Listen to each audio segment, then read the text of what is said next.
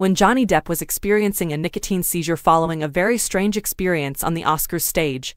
He once stole Harrison Ford's limousine, it was a terrible experience. It is necessary to acknowledge that Johnny Depp's eccentricity extends beyond the screen, where he pulls off certain things that confound others around him. Everyone who has been in close contact to the Pirates of the Caribbean actor has a tale to tell about him embarrassing them or acting strangely. One such instance involved him acting strangely and taking Indiana Jones actor Harrison Ford's automobile after the Oscars. For those who are unfamiliar with Depp, or if you haven't read enough about him, he is an anti-Oscar who has never truly relished the ceremony. One such instance is when he was instructed to enter the stage and introduce Neil Young. The actor finds it strange that he was given a script to memorize and perform on stage. Johnny Depp has described the Academy Awards as really, really weird, and while doing so, he also shared a humorous story about how he ended up stealing Harrison Ford's limousine to flee the ceremony after having a nicotine seizure during his time on stage introducing the performer. Continue reading to learn all there is to know about the same. According to a Fandom Wire source, Johnny Depp was given a screenplay and invited to the stage to welcome Neil Young. The actor said that he couldn't speak everything and that the teleprompter was too far away for him to read everything from it.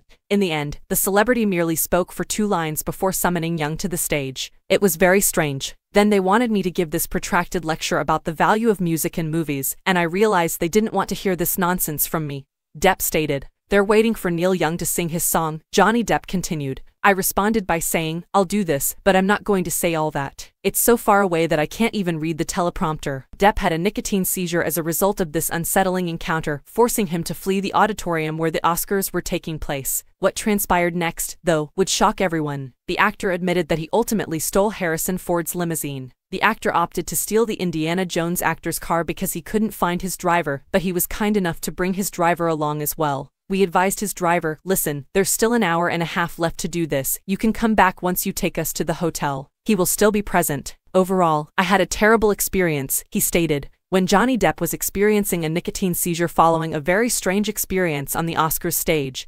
He once stole Harrison Ford's limousine, it was a terrible experience. It is necessary to acknowledge that Johnny Depp's eccentricity extends beyond the screen, where he pulls off certain things that confound others around him everyone who has been in close contact to the Pirates of the Caribbean actor has a tale to tell about him embarrassing them or acting strangely. One such instance involved him acting strangely in taking Indiana Jones actor Harrison Ford's automobile after the Oscars. For those who are unfamiliar with Depp, or if you haven't read enough about him, he is an anti-Oscar who has never truly relished the ceremony. One such instance is when he was instructed to enter the stage and introduce Neil Young. The actor finds it strange that he was given a script to memorize and perform on stage. Johnny Depp has described the Academy Awards as really, really weird, and while doing so, he also shared a humorous story about how he ended up stealing Harrison Ford's limousine to flee the ceremony after having a nicotine seizure during his time on stage introducing the performer. Continue reading to learn all there is to know about the same. According to a Fandom Wire source, Johnny Depp was given a screenplay and invited to the stage to welcome Neil Young. The actor said that he couldn't speak everything and that the teleprompter was too far away for him to read everything from it.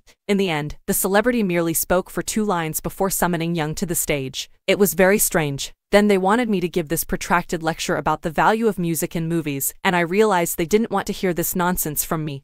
Depp stated. They're waiting for Neil Young to sing his song, Johnny Depp continued. I responded by saying, I'll do this, but I'm not going to say all that. It's so far away that I can't even read the teleprompter. Depp had a nicotine seizure as a result of this unsettling encounter, forcing him to flee the auditorium where the Oscars were taking place. What transpired next, though, would shock everyone. The actor admitted that he ultimately stole Harrison Ford's limousine. The actor opted to steal the Indiana Jones actor's car because he couldn't find his driver, but he was kind enough to bring his driver along as well. We advised his driver, listen, there's still an hour and a half left to do this, you can come back once you take us to the hotel. He will still be present. Overall, I had a terrible experience, he stated.